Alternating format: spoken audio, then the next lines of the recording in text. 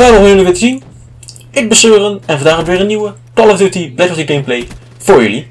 Voor vandaag doe ik het commentaar even achteraf zonder facecam, omdat ik namelijk een update video heb, waarin ik even wat dingetjes wil mededelen. Nou, zoals jullie misschien wel weten is vandaag 14 juni en dat betekent dat de nieuwe updates van Call of Duty eraan zitten te komen. Uh, mocht je de video daarvan niet hebben gezien, zal ik even een linkje achterlaten, want het gaat namelijk over de tiende specialist en al de andere dingen die erbij komen. En wat het dan inhoudt, ga ik jullie nu vertellen.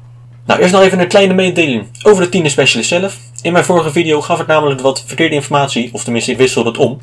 Je hebt namelijk de rook specialist, uh, dat is in ieder geval specialist wapen. En dat betekent als je na zoveel mensen uh, iemand tilt, dus stel na vijf kills en je uh, tilt de zesde persoon, dat is Profit, dan krijg je zijn Tempest. Nou, dan kan je kiezen om die te gebruiken of niet. Um, en als je dan nog een kill maakt, dus daarna kill je bijvoorbeeld Seraph, dan kan je kiezen om ja, of die Profit specialist te gebruiken. En als je daarna die Seraph killt, kan je kiezen om haar uh, specialist wapen te gebruiken. Dus uh, de Tempest dan voor de Prophet en dan de Annihilator voor de Seraph. Nou, zijn specialist ability van de Blackjack is de Gambler. En dat betekent dat je na een bepaalde tijd, dus die is wat sneller dan algemeen, een random ja, ability van iemand anders kan krijgen. Dus je kan bijvoorbeeld de Heatwave krijgen, de Kinetic Armor, nou, enzovoort enzovoort. En dat gaat sneller dan normaal. Dus eigenlijk is het gewoon een verrassing wat je kan krijgen. Alleen het voordeel daarvan is dat je het sneller krijgt. Dus nou, dat even snel meegedeeld hebben. Uh, gaan we nu verder naar de andere updates die vandaag komen. Nou, je hebt natuurlijk ook gewoon de contracts die er vandaag aan zitten komen. Dus daar ben ik ook hartstikke enthousiast voor. Omdat je dan hopelijk weer uh, ja, wat nieuwe of wat meer uh, crypto keys kan sparen. En hopelijk ook weapon vibes kan krijgen. Waardoor je dus hopelijk sneller ook die nieuwe DLC wapens kan, kan pakken. Nou, verder zijn in deze updates heel veel kleine aanpassingen gedaan aan bijvoorbeeld maps, aan andere game modes, aan, aan kleine bugs, aan kleine glitches enzovoort enzovoort. Dit is dan ook de grootste ja, update tot nu toe. Maar wat belangrijk is, is uh, dat er ook nog wat wapens zijn genurfd en gebufft. Volgens mij alleen maar genurfd, dus dat betekent dat ze wat minder zijn gemaakt. Uh, dus dat is eigenlijk hartstikke mooi, want het gaat namelijk om de Marshall 16. Dus dat kleine pistooltje dat ook een DLC-wapen is. Eigenlijk een soort van shotgun. En dat echt enorm overpowered is.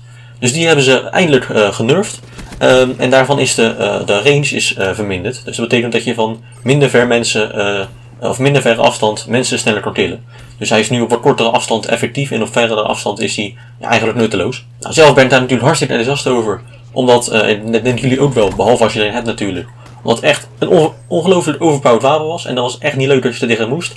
Want ja, dat was eigenlijk altijd gewoon, je kwam iemand tegen met zo'n ding, poem, en je bent dood. Dus echt, je kon eigenlijk naar haast niet tegen doen. En dat van ja, best wel verre afstand. Dus hopelijk uh, ja, is het nu wat minder en is het gewoon een uh, goed hanteerbaar wapen dat niet overpowered is. Nou verder zijn ook weer de optics, uh, dus de Varis 3, de Recon en de Thermal zijn weer uh, ja, genurfd zoals ik al zei. Uh, in een van mijn vorige video's, ik zal even het linkje daarvan onder in de beschrijving zetten, werd medegedeeld dat deze optics eigenlijk ja, twee keer een trip op je wapen was, ja, eigenlijk het effect ervan. Nou, dus dat is ook verminderd. Ik weet niet, er staat niet bij of het helemaal naar weer naar nul is gegaan, dus dat zo'n optic helemaal geen effect meer heeft, of dat het een klein beetje effect heeft. Maar het is in ieder geval verminderd, dus ja, nu zal het ongeveer iets minder effect hebben dan de grip hebben, denk ik. Um, dus ja, dat is ook wel een aardig grote uh, nerf. Want ja, hè, dat was echt ongelooflijk overpowered als je een van die uh, ja, optics op je wapen zette. Nogmaals, linkje daarvan staat in de beschrijving. Uh, dus ja, ook dat is verminderd. Dus dat betekent dat, het, uh, dat deze drie sites niet meer zo effectief zijn als dat ze waren. Nou, als laatste is er ook nog iets met de perk hardwire. Dit is eigenlijk een beetje de belangrijkste dingen voor multiplayer, want iedereen dat natuurlijk het meeste speelt. Zoals ik zei, zijn er ook nog kleine veranderingen in maps en in, bij zombies en dergelijke. Maar ja, dit is het belangrijkste wat jullie waarschijnlijk willen weten. Nou, dat waren de belangrijkste updates in deze update. Hoe ironisch ook. Maar ja, uh, hopelijk heb ik je wat uh, kunnen leren. Uh, het belangrijkste van deze update waren natuurlijk de 10 specialist die eraan komt. Net zoals de contracts.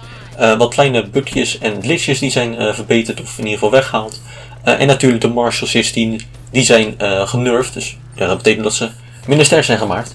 En ook de optics, de Varix 3, de Recon en de E-Cop zijn verminderd. Dus die hebben niet meer zo effect, veel effect op je accuracy. Dus nou, nogmaals, hopelijk hebben jullie dat kunnen leren. Wil je nog meer video's van mij zien? Kan je hier zo op, de, op beeld de annotation aanklikken. Um, om ja, een van mijn vorige video's te bekijken. Uh, de video van de vorige updates van Call of Duty, dus met die Varus 3 de Recon, zal ik ook nog even in de beschrijving neerzetten. Zodat je kunt zien wat ja, eigenlijk daarvoor uh, het geval was met die drie uh, scopes. En ja, ook hier zo kan je ook nog abonneren op mijn kanaal. Nou, dan willen jullie natuurlijk enorm bedanken voor het kijken en voor jullie support. En dan zie ik jullie heel graag in mijn volgende video.